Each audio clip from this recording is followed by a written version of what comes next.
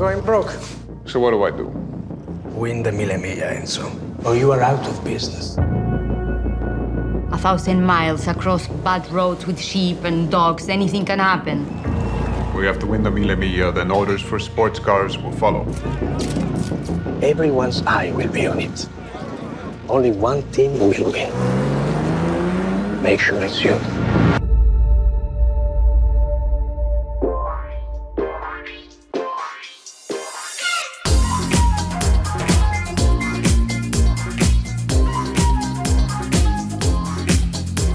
Hi, everybody. Welcome to Horsepower Heritage. I'm Maurice Merrick, and greetings to all of you listening from places like Palisades Park, New Jersey, Alpena, Michigan, Boulder, Colorado, Hanau, Germany, Brescia, Italy, and Balladrine, Ireland. Thanks for joining me for the last episode of 2023. And I hope that you and yours have had a wonderful year, and I wish you all the best for 2024. And it's been quite a year for me and for the show. And I just want to share a few highlights with you. So many great guests and opportunities have come along this year, like Kevin and Lukas Czinger of Czinger Vehicles, you know, visiting their factory and seeing the absolute cutting edge of the technology they're creating. That was incredible. Another great one, talking with author Peter Grimsdale about his book Racing in the Dark, which is about Bentley at Le Mans in the 1920s. You know, that's a century of automotive history right there between Czinger and Bentley. So I feel really fortunate to bring you these stories. I also got the chance this fall to be in the broadcast booth at the Velocity Invitational at Sonoma Raceway with Jonathan Green, who is a veteran motorsports broadcaster. And he's covered MotoGP, Formula One, IndyCar, all sorts of stuff. He's a real pro. So it was great to be able to spend some time on the mic with him and give some commentary during the vintage races at Sonoma. Velocity Invitational is a great event, by the way, and some people are calling it the American version of the Goodwood Revival. It's on a smaller scale, but it's getting bigger every year. So if you get a chance to attend, I highly recommend it. But I think the highlight of the year for me was interviewing the great Emerson Fittipaldi live on stage at the Quail during Monterey Car Week just an unforgettable experience. And I definitely plan to do more live events like that in the future. It was so much fun. And through it all, so many new friends. And I'm always learning and thinking about what's next for the show, the promise of things to come. So thank you for another great year. I can't do it without your support. Please tell your friends about the show. And if you can contribute monetarily, please do. Just go to buymeacoffee.com forward slash HP Heritage. You can give as little as $2 or a larger amount. And if you want, you can even make it a monthly contribution. Now, I don't foresee a time when I'm going to make Horsepower Heritage subscription based. That's not really what I want to do. But if you enjoy the show and you can support my work, it would be a big help. All right, let's talk about today's episode. One of the most anticipated movies of the year is Ferrari directed by Michael Mann, and it opens in the US on Christmas Day. It's the story of a pivotal time in the life of Enzo Ferrari. He's facing personal and professional turmoil, trying to keep his family and his company together while winning races. And the backdrop of the story is the 1957 Mille Miglia, the legendary thousand mile Italian road race. And my guest today was responsible for bringing the racing action to life. Robert Nagle is a veteran Hollywood stunt coordinator and driver. In 2015, along with his colleague Alan Padelford, he won an Academy Award for Technical Achievement for a self propelled high speed camera platform called the Biscuit Junior. And you'll hear more about that in a little while. You've seen his work in films like Talladega Nights, Baby Driver, John Wick, Mission Impossible Rogue Nation, Gran Turismo, and of course, Ford v Ferrari also known as Le Mans 66. And that list barely scratches the surface of his credits. Robert is the first Academy Award winner I've had on the show, so that's pretty cool. So this was a fun one for me. And since I had the chance to sit down with Robert in person, I wanted to get the whole thing on video, which meant I needed an authentic period competition Ferrari to set the scene just right. So I made a few calls and we met in an undisclosed location surrounded not just by Ferraris, but a whole host of incredible classics. And the full episode will be up on the Horsepower Heritage YouTube channel later this week, so subscribe over there as well if you want to check that out. All right, if you're excited to see Ferrari, this is going to be a great behind the scenes introduction to the film. I've got Movie Magic with stunt coordinator Robert Nagle, and that's coming up right after this. This episode of Horsepower Heritage is sponsored by Model Citizen Diecast. No matter what's in your garage, you can fit all your automotive heroes on a shelf and they've got you covered whether it's 143rd scale, 118th scale, or even the ginormous 1 8 scale masterpieces from the Amalgam Collection. Go to modelcitizendiecast.com and get 10% off when you use the promo code HERITAGE at checkout. Limitations apply. From race cars to street cars and everything in between, it's Model Citizen Diecast because your inner child still wants to play with cars.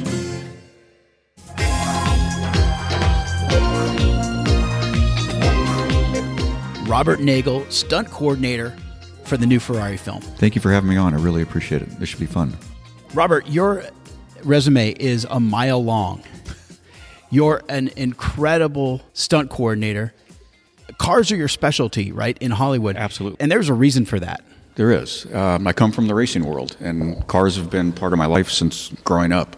I've just been drawn to mechanical things and how fast can I make them go. Tell us a little bit about your racing background itself. I started off drag racing, learned how to make horsepower, get it to the ground, and got bored with it. then moved on to road racing, and that really captivated me. So, how did you transition from racing to stunting? So, there's two ways to look at it. The funny answer is I ran out of money racing. Like everyone does. Yes. And so I started making the transition from racing to driving on camera, driving whether it's crashing the cars or driving at speed. But oftentimes I was hired to drive cars like what's behind us at speed and not wreck them because we can't crash them, but they want them driven close to the limit. So I was known to, to for that genre, if you will, to really take a performance car and run it at its limit for, for a show. In order to sell it on screen, you have to be at the limit, right? have to be very close to the limit, but there's there's another side to that, and, and that is sometimes the way you drive the car, especially through a corner, might be slightly different than how you do it for a race line, um, just to get a little better perspective of what the car is doing, make it look better for camera. So there's nuances that we have to find to to make that look nice. Your number one job is to keep everybody safe. At the end of the day, absolutely. I have to design everything to mitigate as much risk as possible. Any particular challenges in that regard for this movie? This one was tough. I mean, if you look at the cars, they're open top. And that era, they didn't wear seatbelts. So I had to overcome that. My drivers all wore five point harnesses, but they're, they're hidden by the wardrobe. Uh, we also had roll bars that were, were removable. So if we were doing anything precarious, we'd put the roll bars in, and then they'd digitally remove the roll bars. But oftentimes we didn't have the roll bars in when cars are running close together at high speed, there's always a chance that there could be a mechanical problem, a tire blows. You know, the fact that we had built these cars from the ground up, and they were built by a, a team of guys that understand racing and understand how to keep cars going and, and how dangerous it can be if you don't stay on top of it. We were able to push these things really hard with confidence that they're going to stay together. And they were they were looked after uh, at the end of the day, front to back, top to bottom. They were gone through, make sure everything was perfect. So the next day, we had basically a new car. Would you call Ferrari your biggest project yet? Um, I think so. Yeah, it's you know it, it was a massive undertaking. Uh, Michael had been trying to get this off the ground for over 20 years. Um, so to see it to finally coalesce and become a, a really tangible project um, was was really amazing. The story of Enzo Ferrari as told by Michael Mann, starring Adam Driver and Penelope Cruz. I mean, A list all the way, right? Yeah, I mean they're fan, yeah, they're top of their game. They're amazing, amazing talent. How did your prior work prepare you for this project? Having known this project and known Michael as long as I have, kind of gave me, I think, a, a step up in being able to to handle this and really work with Michael and get his vision on camera. And what was his vision? Go fast. Let's talk about the behind the scenes of the cast and crew and the cars. The cars are characters after all, right? Yes. They have this almost sense that they're alive in a way. Part of that feeling is you're dealing with a car that was literally hand built from the ground up. the lines of that car and, and the shape and the curves, it just, I think it, it speaks for itself that, yeah, it's alive. They, they, they're every bit of character as, as Adam is. Now, Adam isn't really in the action sequences, is he? I mean, because Enzo's not a driver; he's the engineer. Yeah, at this point, he, I mean, he's he's way beyond uh, his driving years, and they don't really talk about their. But when he did race, he he came to the realization there were guys that were much better than him at driving, but he was able to put together a package and race that package and be very successful. And that's what that's what he focused on. The the meat of the story uh, takes place in 1957 Italy. Um, Enzo is struggling to keep his business alive, struggling to keep his family together, um, and trying to figure out how to keep his name on the map and make it bigger, because he's not making money. And so the the the absolute uh, crisis for him at that point becomes the Mille Miglia. He has to win it. He knows he has to win it to keep his name at the top. And so it's a big push for him to get to keep that together, the race team together, his wife together, and life, and his business. The whole thing is just it's on the verge of crumbling. What is the Mille Miglia? The Mille Miglia is a thousand mile race. It's a loop through Italy, and you're running through country roads at this point sometimes well over 130, 140 miles an hour. If you look at these cars, the, the tires are only six inches wide, and these guys are running them flat out down these roads. As the stunt coordinator, you want to execute Michael's vision. How do you prepare your team for a project like this? The guys I bring in, um, I work with often. Not all of them, but most of them do come from a professional racing background and have transitioned into doing uh, car work on camera and have done it very, very well. So there's a bit of a shorthand that we is understood between us when I'm explaining a, a choreography or a race scene and how we need to photograph it, and kind of step them through that. Yeah, so it, it's having that core team always with me is really, really helpful. Once you find a team that you can really work with, you want to work with them over and over. As much as possible um, because everybody's relying on each other. Each person has to be in a specific point in time and spot at any given moment because they're relying on the other guy to be at his spot in any given moment. If that doesn't come together, we have problems. It's a dance, isn't it? It is. It really is. If we can't photograph it, it's useless. So you know, again, it comes down to at a given point, this is where the action needs to happen. This is where the cameras are expecting it to happen, and you want to see it there. The angles are set, everything's set up. The camera operators are expecting it, so everything has to fall together in, in those steps. How often do you have to do multiple takes, Robert? I like to say I'm usually getting it in the first one or two takes, and if we're crashing stuff, that's maybe all we have is one or two takes. So it's it's paramount that I get the choreography down and the timing down, and everybody do what needs to be done, including camera, to get that shot. Give us an idea of how you plan an action sequence with cars. You're gonna laugh. I use Matchbox cars. That's perfect. That makes so we, total we sense. Down, we draw it all out, and we set the cars, and you're driving this car, you're driving that car, and we kind of step through it. Uh, you know, uh, a beat at a time. This car does this, this car does that, and once everybody has it down pat, and it's it's a nice visual to be able to see it, and you're looking at it from overhead of where everything should be, and it, it works out really well. That makes total sense. It's three dimensional, easy for everyone to understand their role, and then the big picture as well. Yes. Tell us about some of the drivers in this film. Some of these guys have worked for me on other films. So Derek Hill, who's the son of Phil Hill, uh, has worked for me in a couple films. We had uh, Samuel Hübinette, the Formula uh, D champion, has worked for me in a couple films. Tony Hunt, who's a USAC champion. We've worked together on a lot of stuff. Jeff Bucknum, who also worked with me on Ford versus Ferrari. His father, Ronnie Bucknum, drove the gold GT40 that finished third in the 1966 Le Mans. His son came to work for me on Ferrari, and when we brought him out and I tested him, he was too good. What do you mean he was too good? He was too smooth. He hit every mark perfectly. Very smooth driver, very accomplished. Um, and so I turned to my dear friend Ben Collins, aka the Stig, and I said, "You need to go ruin him." yeah, just we need to dirty it up a little bit. And Patrick Dempsey is also in the film, is he not? Dempsey is in the film, and he did just about all of his driving. You know, he raced for a number of years uh, for Porsche, and he did a phenomenal job. And he literally would show up when we were testing, and he looked like a kid in a candy store. He was just he did an amazing job. A lot of times, films, I think, miss the mark because they are over reliant on CGI.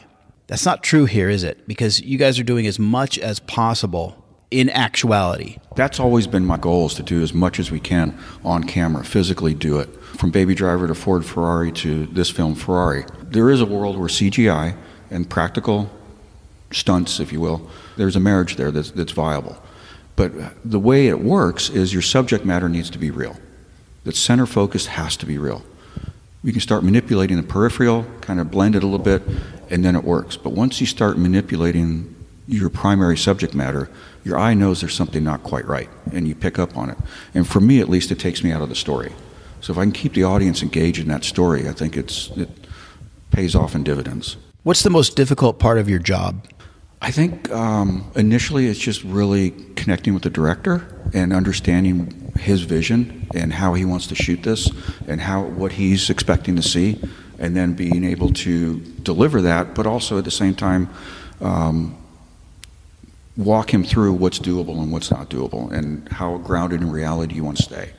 It seems like a lot of times there's a temptation to step out of the bounds of realism with cars.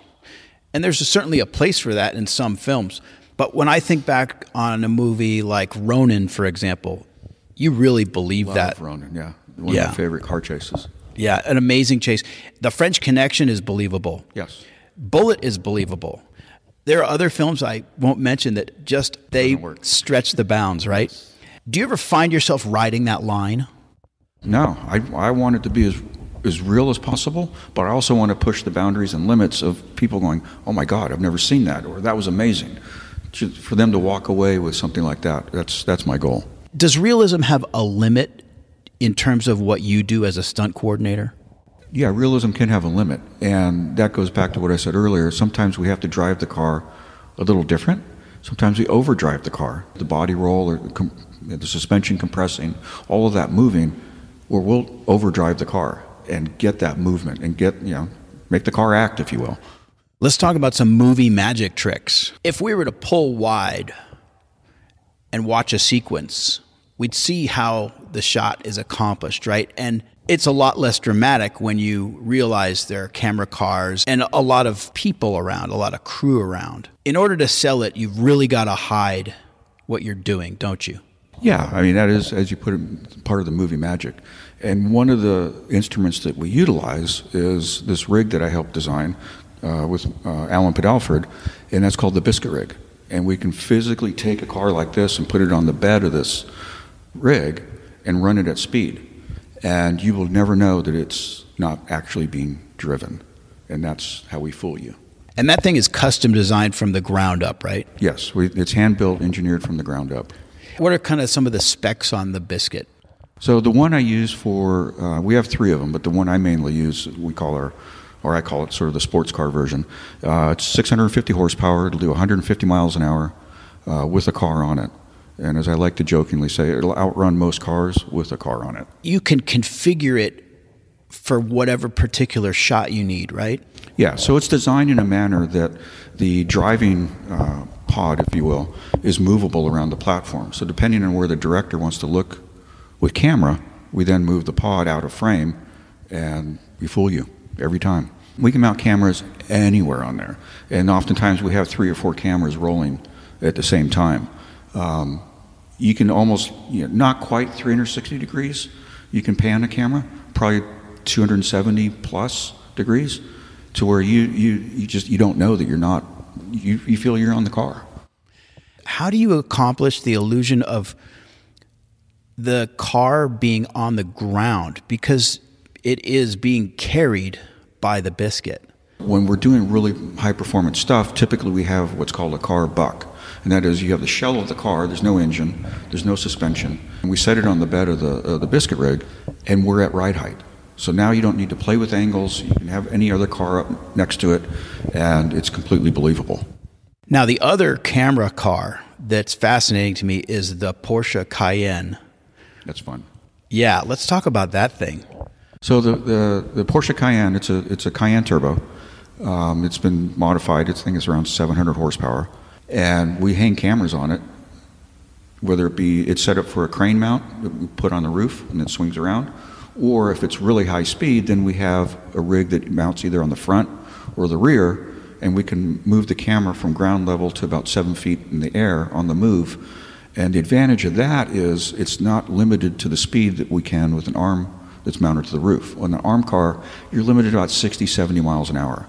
Um, with the with the rig that's independent of that, and we take the crane off, we can do 100 plus miles an hour and chase race cars. It's movable on the on the fly, so we can we can come up to a car with it at ground level, and then raise it up and look over the car, and literally be just right right on the vehicle. Where does the camera operator sit? So for that setup, the camera operator would sit in the front passenger seat. So he's got full view, but he's also got a big monitor, and that's really what he's looking at is the big monitor. How much did drones come into play for Ferrari? We used the drones quite a bit. They were very, very useful in the settings we were at. Uh, we needed to get shots off quickly. Sometimes uh, there wasn't a lot of room to fit anything else. And so I think we got some really cool stuff with drones uh, in this film. And were all the driving sequences shot in Italy on location? 100% all the, everything we shot was in Italy. The majority of what we shot was actually all around the outskirts of Modena. There were some fantastic country roads that we found, and each had, a, you know, depending on where you went, had a little different look. Some of them were sort of mountainous, some of them were flat. You'll see in the film, it's just to die for, some of the scenery. These cars are priceless. You're going to have to use the real thing in some scenes, but inevitably, they're too valuable to drive close to the limit. So, talk about using the real cars versus replicas in the film. The Mille Miglia cars that you're going to see, the open top cars, we hand built all those cars um, because the real version of it is 30, 40, 50 million dollars a copy. We did have a couple real ones. The TDF that's in the Mille Miglia was a it's a real Ferrari that we borrowed from a, a gentleman in the UK. And then for the F1 cars, we had two Maserati 250Fs that were real Maserati 250Fs. And then we, uh, in, the, in, that same genre, we reproduced two Ferrari 801s, and they don't exist, but we reproduced two of them, and again, built them from the ground up. Were you involved in actually making the replicas? I was very involved in that, and that was I was tasked to help find a constructor for the chassis and work with a constructor for the bodywork. There were two separate uh, builders, and we wound up building the chassis in the UK and then bringing them to Italy. And once we're in Italy, uh, they built the bodies, and some were fiberglass and some were aluminum, depending on what we were going to do with the car. If we were going to make contact or crash them, they were aluminum.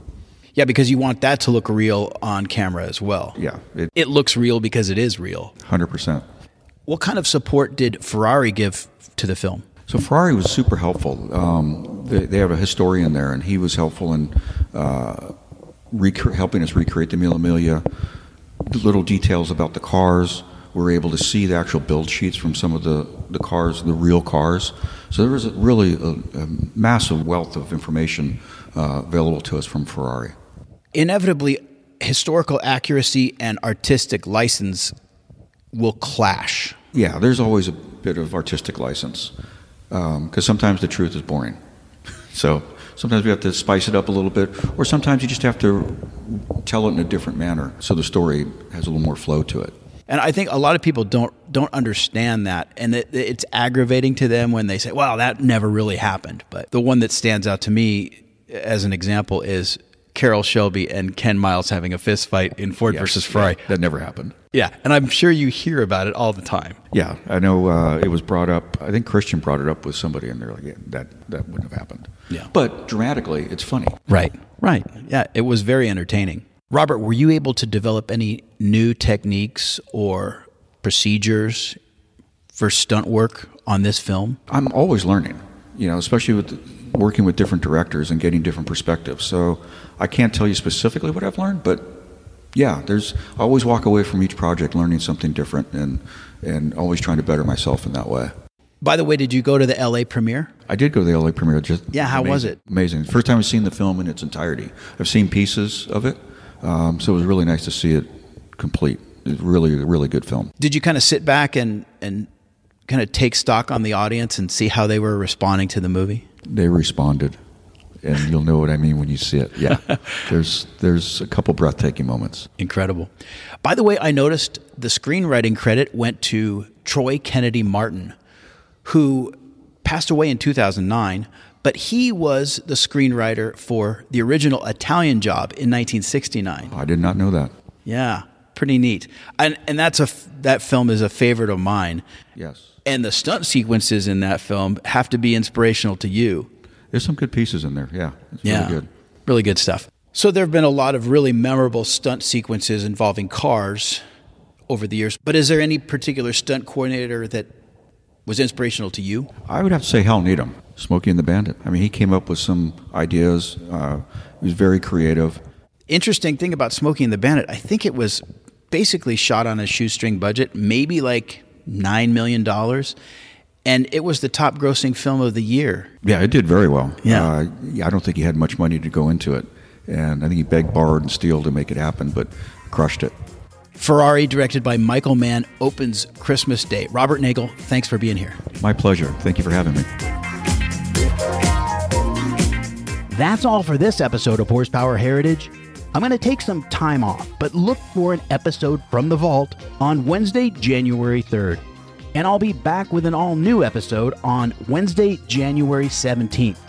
Support the show at buymeacoffee.com forward slash HP Heritage. Share this episode with your friends. Find me on Instagram and YouTube at Horsepower Heritage. And until next time, I'm Maurice Merrick. Thanks for listening.